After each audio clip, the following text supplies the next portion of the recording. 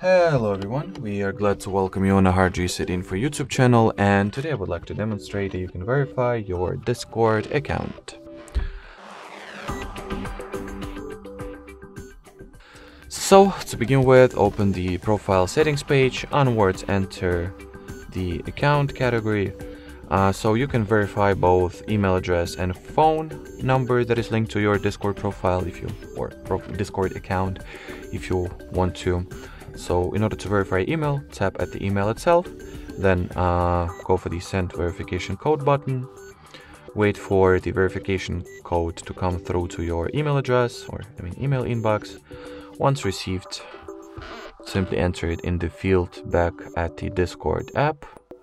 So let me, okay, here I have mine. I'll just copy code that I've been provided with and uh, paste it into this verification code field. Then click next. And well, uh, here you have it. Pretty much the email was successfully verified. Uh, as far as the phone number goes, it's pretty much the same. Just enter the phone number um, that you would like to verify your Discord account with, and uh, well, or that you would like to link to your Discord account per se. Click next. Then uh, wait for the verification um, six digit code to come through to your uh, well phone or to your phone number uh, in form of a SMS message and enter the six digit code at this field like that.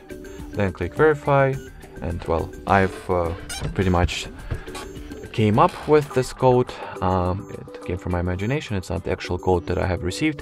But if you've entered the verification code correctly and tapped at the verify button, you'll be able to verify your phone number no problem. And it will be verified after that step um, easily.